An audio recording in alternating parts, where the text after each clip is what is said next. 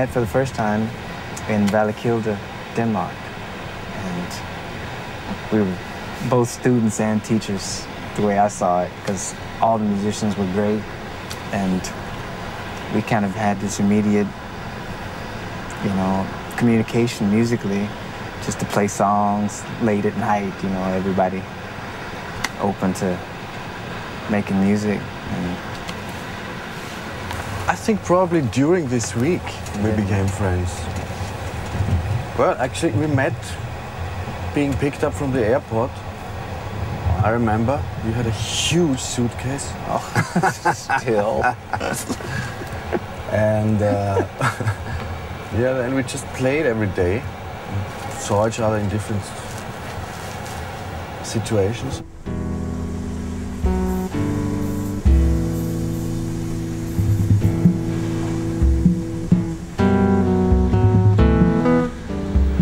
Well, Jazz Baltica, two years ago, what was it? It was an invitation from from them. Rainer Haarmann, you know, asked if I had something that I thought would be special, and so we talked about you, and he mentioned, you know, yeah, we'd done these trio projects, obviously, with Marc Johnson, and but you know, I thought, wow, it'd be cool to play duo, you know.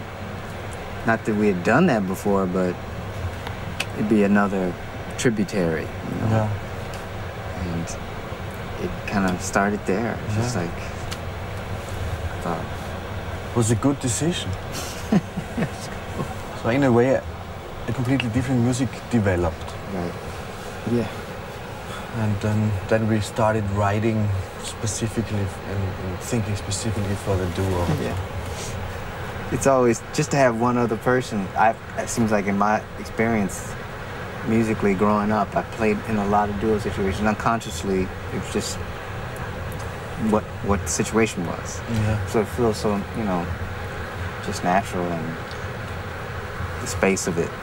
I was surprised to hear that you played a lot of duo in church. Yeah.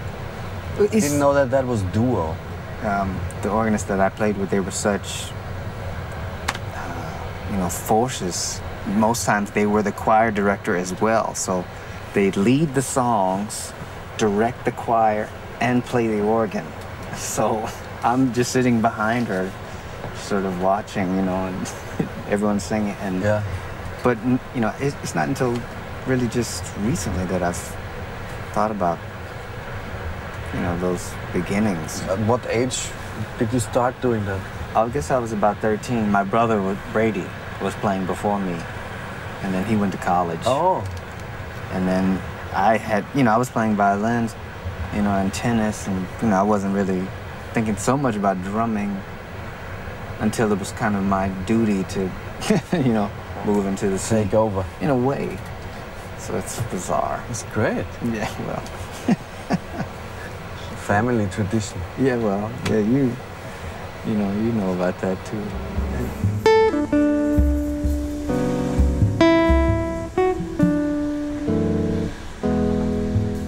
When I first left Shreveport to go to New Orleans, it was, you know, that was a big one. You're like, okay, I'm on my own in a way for the first time. And the Friendly Travelers were, they were a group in New Orleans that played at coffee houses around town. It was always free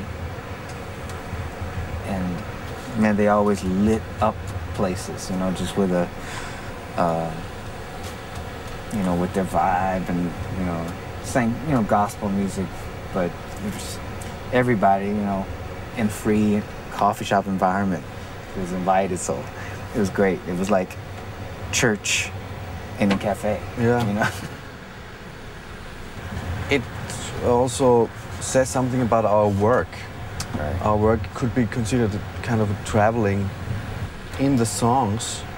Yeah, We travel to different places, that's true. and uh, most of the time we're friendly. I think that's one of the things that I enjoyed most on this tour is that even though some of the tunes are kind of defined with, you know, certain parts that we have to play that are that are essential, Yeah. that we still manage to light it differently every night. Yeah. I don't have to think what should I do. Right. You know, it's like it kind of comes. Yeah. And if I don't know, then I just listen. Right. And that's beautiful. I mean, that's for me that makes it very easy. This the playing in the duo. you know? Yeah. Well, it, you know, even though it seems like there's a great responsibility, oh, it's just the two of us, and either we have something to say or not, and I feel that too. Like we can totally let let that the absence becomes a great part of the music. Yeah. You know?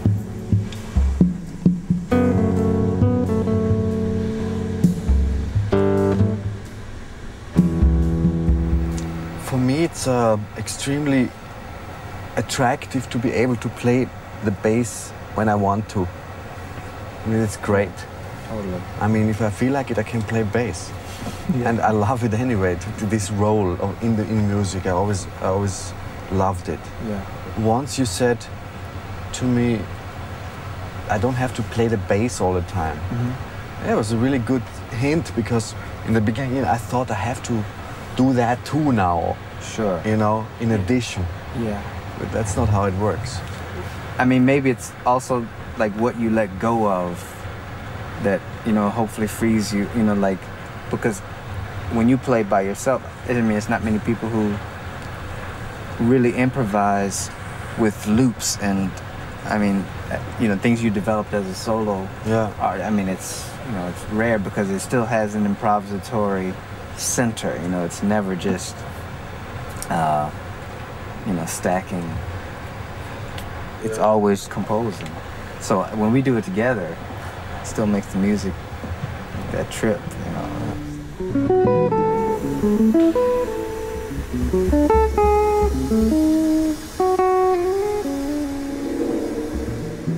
Now that the music also developed to a certain degree from the record, it was interesting to hear the record yesterday again in the restaurant It was. because it just reminded me, aha, that's where we started. Mm-hmm. And even though I like the record, it just feels very different now, the music. Yeah. But it's gonna be interesting where it goes. I feel that on some of these intros and free situations in the in, in our concerts Yeah. that we open some windows maybe. Yeah. So in a way I could imagine that we that we get together in a studio that feels nice for a few days and we just play. We don't even have a tune. Yeah. You know? Nothing prepared. Yeah. That could I be mean, nice. Yeah. I mean, a lot of the record essentially is that, you Yeah. know, kind of surprises, even, even the entirety of an improvisation that, you know, maybe we just thought, okay, the first two minutes feels like the piece, and then at that pause when we started again, that's maybe not so good. But then three weeks later, you know, you hear you hear it again. It's like, oh man, there's there's actually something there as well. It's it, it's actually just another song. Or maybe that could be the next trip, just just to play free and see what comes. Yeah. As much as there's this mutual respect for like interpreting a song or, or a piece, you know. I mean, you especially come from that tradition of, you know, classically. Yeah. You know, you you, you play the piece and you inject it with you know emotion. And I and I admire that too. That is kind of specific because we have this real um, center of the music, which is the song. Yeah. And when we play the song, we really play it. We don't quote it. We really play the Right. song. And at the same time, there's a lot of improvisation. Um, kind of, for me, it's a perfect combination. Yeah. And the improvisation never gets abstract Right. unless the cell phone rings in the audience. Right. Right. Composing. Then we make a little abstraction.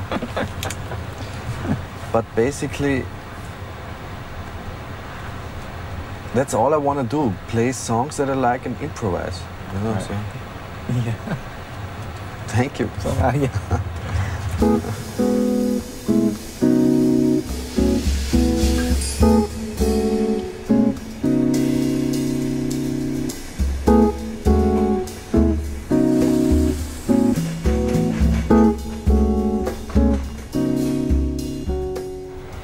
playing both classical music and jazz until I was 22. And I had to decide one or the other because I couldn't dedicate myself fully to both. Mm. And then it was more a question of time because I would have liked to continue mm. playing classical music. Some, some of the pieces are really nice. But anyway, the decision was, was good for me, and uh, I feel that I can influence a lot more aspects of the music now than if I was a classical guitarist. Right.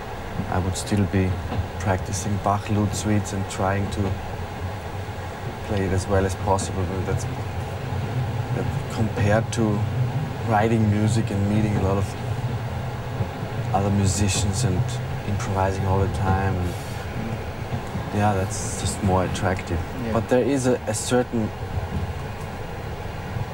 body of music that you can play on the classical guitar, which is really great. I mean that those lute suites are so great. You know, they are really the most intelligent music you can play on that instrument. Mm. I think.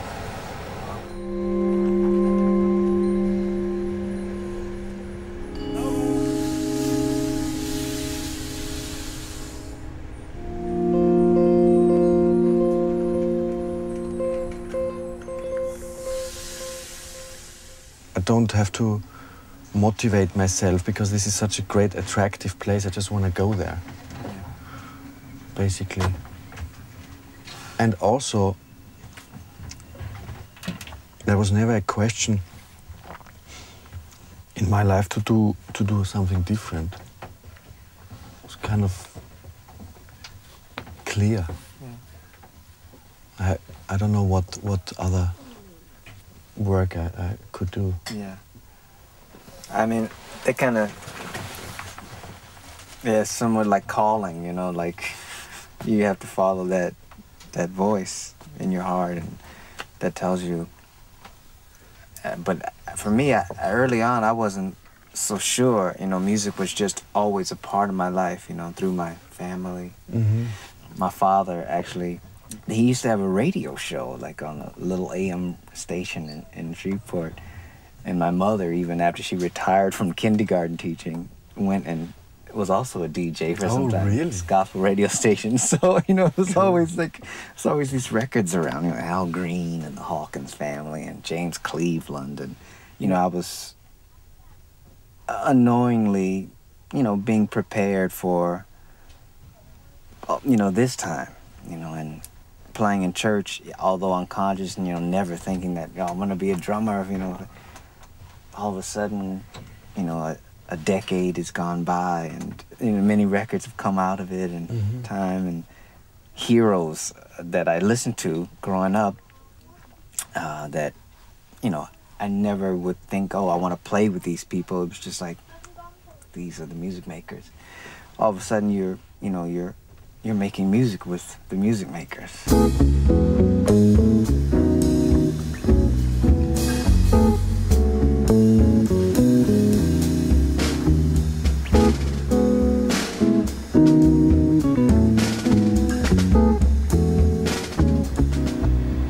Sort of when I deal with music, then I kind of know the game. I would never betray it. Right. You know what I mean? Yeah. Because it won't sound good, and I'm looking for that True. space. Yeah. In other parts of life, which basically is the same than music, it's all the same. Yeah. I, sometimes I don't get it. Yeah. Don't get what the game is. Yeah. In that way, music teaches me, for example, to let go. If you can't let go Yeah. in certain musical situations, Yeah. let go of an idea. Once it's once the life of the idea is gone, Yeah. Let it go, let it go. Yeah. If you don't, it will sound horrible. Yeah. it's always a challenge. Yeah. like, well, not so much on stage. You know, like when we play, it's like you're uninsulated. You know, you're just you're very open to maybe more so than any other part of you know actual life. You know, mm-hmm. like off stage. You know, like wow.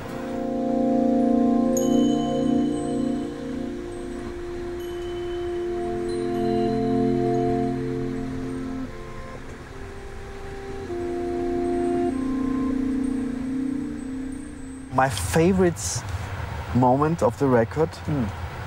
is one drum hit of yours. Really. Right before the solo of Gnadenwald.